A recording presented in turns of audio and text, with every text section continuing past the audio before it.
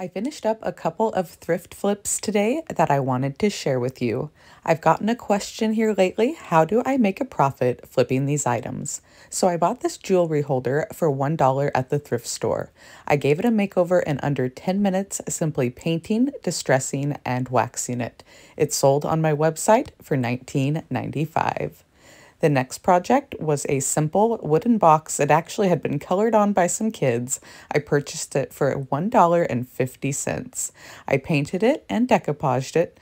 Once the decoupage paper was dry, I distressed it for an antique look, waxed it all up, and this box sold on my website for $22.95. Two simple flips.